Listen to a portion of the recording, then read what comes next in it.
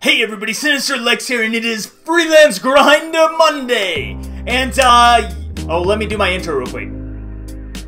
Alright, so welcome back, it's Freelance Grinder Monday, and, uh, I am so freaking far behind, but I got so much done this weekend. It's really exciting! Oh my gosh, oh my gosh, oh my gosh.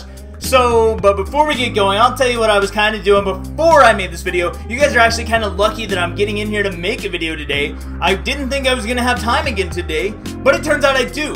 Why? Because I was recording this freaking webinar about copywriting, and about 15 minutes into this thing, this thing that I've been working on for months now, freaking neighbor guy decides, oh, you know what, I think I'll weed eat my freaking lawn today. Perfect day for a... Let's weed eat, guys. It's 2.35 in the afternoon. We're gonna weed eat our lawns today because it's Lawn Weed Eating Monday or something for them. I don't know. For me, it was Webinar Monday and I've been freaking getting ready to record this thing for a while. So, I got 15 minutes in and that is going on and you can probably hear it out there now because it's still going on because he has the biggest fucking lawn on the planet.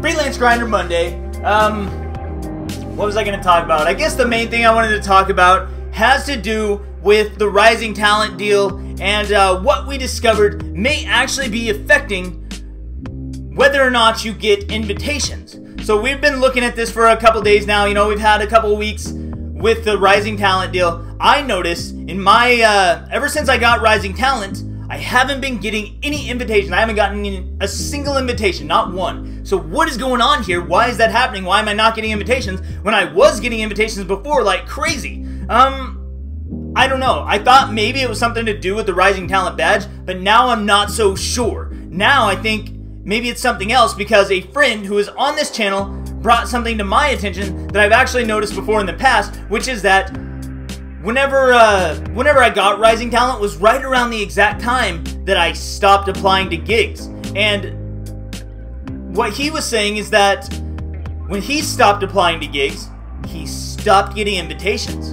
That seems pretty crazy, right? But that seems to be the case with me as well. Because when I stopped applying to gigs, I stopped getting invitations. So he isn't in the same place I am. He's got like 200 hours or something worked on Upwork, and I'm pretty much brand new. So he doesn't have Rising Talent Badge. I'm pretty sure he has Job Success Score, he has top rated status, all that stuff. So those are two different kinds of ratings, and uh, they should have different results.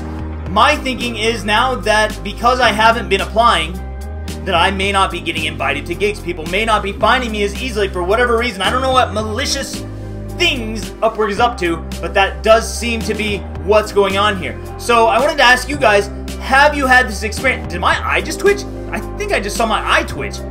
I don't know. I hope I'm not getting one of those eye twitches. Sometimes my muscle twitches, like right here, I get these muscle spasms, and they are like uncontrollable. I don't know what it comes from. I think it's from sitting like this all day, moving a mouse around. Anyway, if you get those, I don't know how to solve them, but I just kind of try and move my mouse around a little closer to my body. I move it over here because it's crazy and freaking annoying, especially when it goes on for a couple days. Back to the thing in hand. Do you guys, have you noticed this? Have you noticed that when you stop applying to gigs, you also stop getting invited to gigs? Is that happening for you? I want to know. I want to see what other people's experiences are. Whenever I get a little bit more free time, I think maybe next week, then, uh, I'm probably going to apply to some gigs and see if I start getting invites again. I want to see if there's a, a real correlation here between this and if I can, you know, put two and two together, if that's really what's going on.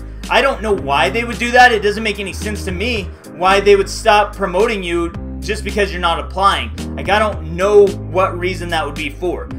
What do you guys think they would do that for? Like, what reason do you think Upwork could even have for not wanting to promote you just because you're not applying to gigs?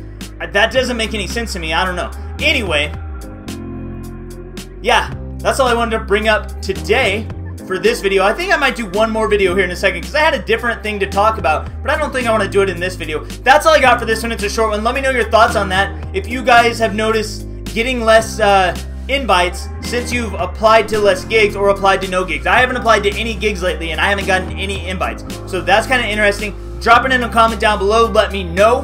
That's all I got for this one, guys. Thank you so much for watching. Subscribe if you want to see more. And I will see you next time.